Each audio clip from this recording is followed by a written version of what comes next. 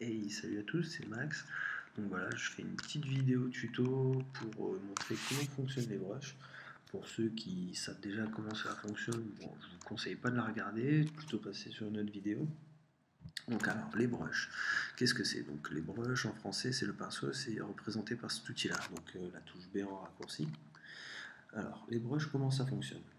Par exemple, euh, on a le panneau de brush là, avec toutes nos brushes, qu'on peut d'ailleurs importer les siennes. En changeant des formes, vous pouvez trouver pas mal de brushes, c'est sous un format ABR. Donc alors, sinon vous pouvez vous-même créer vos brushes. Pour cela, comment on fait? C'est très simple. Il suffit par exemple de faire une brush, euh, on va dire un peu foufou, on va faire ça comme ça, hop, hop, hop, hop, hop.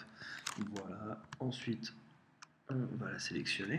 On va aller dans édition, définir une forme prédéfinie, et là, on a notre brush. Donc, on va l'appeler, allez, euh, new brush.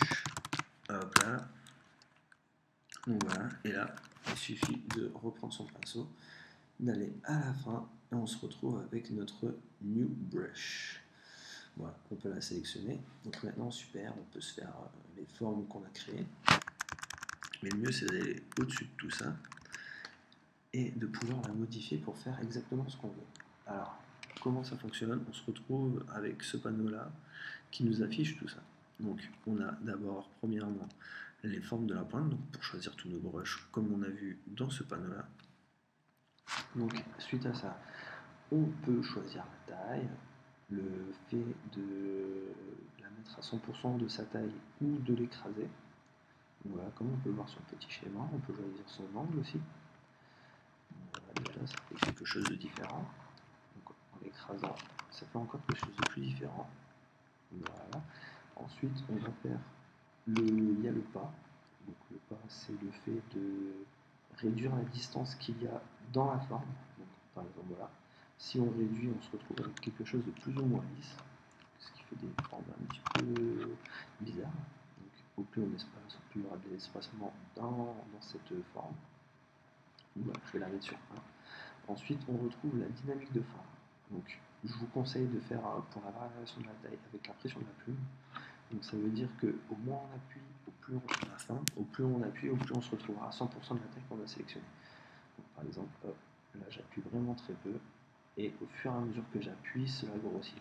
Donc ça c'est le principe. On peut choisir les diamètres minimum donc sur euh, de la pression ça sert un petit peu à rien de mettre à 100% puisque sinon on se retrouve avec euh, la broche euh, entière sans la variation de la taille. Donc après on peut varier l'angle de la broche interne. voilà, ça nous fait toujours des effets un petit peu bizarres. Donc comme je rends à 0, on peut varier les arrondis de la broche pour toujours avoir des résultats encore un peu plus fous. Donc ça c'est vraiment en fonction, après ça à tâtons, en fonction de vos broches parce que chaque broche est unique.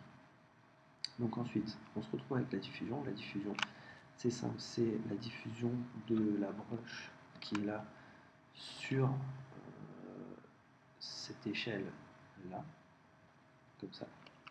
Donc voilà, donc ça veut dire que.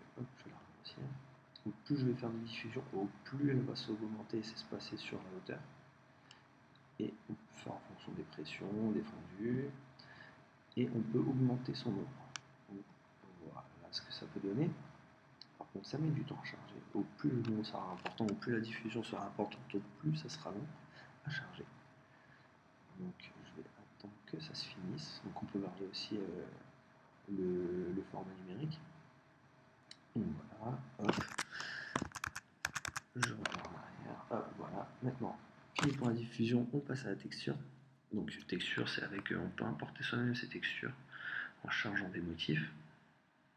Donc là, je prendre un outil prédéfini, voilà. Donc, comment ça fonctionne?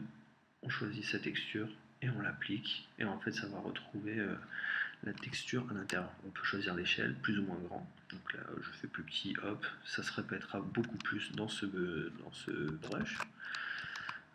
Ensuite, on peut texturer les points, on peut choisir des modes d'incrustation, enfin des, des, produits, tout ça. Donc là, c'est vraiment en fonction, il faut aller à tâtons, c'est à vous, il ne faut pas avoir peur forme double. Alors, la forme double, c'est le fait, donc là, ça m'a sélectionné un brush, c'est le fait de sélectionner un brush dans la brush qu'on crée. Je sais pas si c'est clair pour tous si on m'a compris, si je m'exprime bien. Donc en gros là c'est une brush texturée, donc on va se retrouver avec une texture dans la forme de brush qu'on va créer.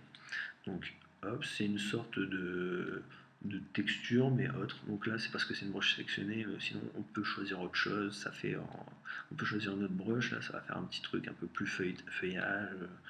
Donc voilà. Ça c'est vraiment à voir. La dynamique de couleur, quelque chose d'assez sympa.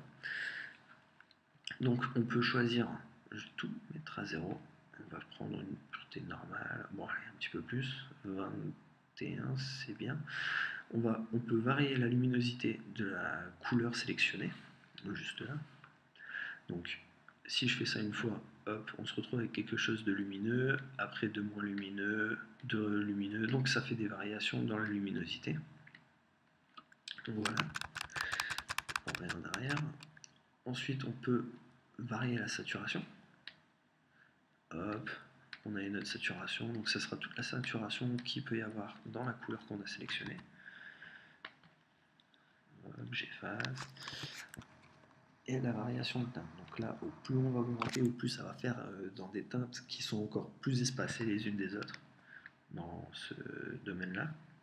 Donc voilà, on se retrouve avec du vert, du violet, du rose, Enfin voilà, de tout. Donc là, c'est vraiment bien réglé pour se retrouver avec quelque chose d'assez cohérent et non coréen.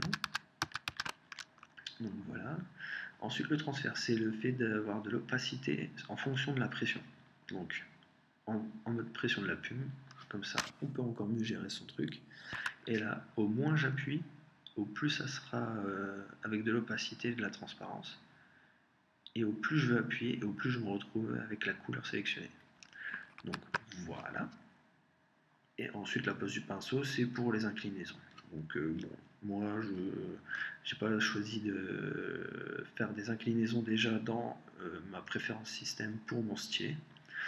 Donc je le gère pas. Ensuite, ça c'est des options. Ah oui, à chaque fois, euh, avant de, de, continuer, à chaque fois que vous avez par exemple sélectionné quelque chose, vous pouvez verrouiller pour ne plus toucher. Hop, plus, que ça se modifie en cours. Donc ensuite le bruit, donc ça, va rajouter un grain, je sais pas si on le voit là, parce que c'est pas forcément visible, mais là ça rajoute un grain dans la broche. Donc voilà, vous voyez juste là, il y a un petit grain qui s'est effectué plutôt que, par exemple, si je fais ça, l'aspect lisse qu'il y a là. Donc voilà, ensuite il y a les bords humides, donc là ça va être le fait d'avoir euh, plus de couleurs sur les contours et euh, à l'intérieur quelque chose d'assez euh, humide on va dire, un peu comme la gestion d'aquarelle, avec des superpositions par exemple de la vie. Ensuite il y a les accumulations, donc là c'est au plus ça va accumuler euh, en fonction de l'opacité et autres. Le lissage pour lisser la broche, sera en fonction des, des points pour pas se retrouver avec des pixels, puis protéger la texture. Donc voilà, j'espère que ça vous aura appris pas mal de choses, comme ça au moins vous pouvez commencer à créer vos brushes, vous éclater euh, avec des brushes pré-importés avec les formats euh, de la pointe, à pouvoir gérer soi-même les brushes qu'on importe en se disant ouais bon j'aurais peut-être plus préféré avec un pas un peu plus, plus petit, euh, sans dynamique de forme pour me retrouver avec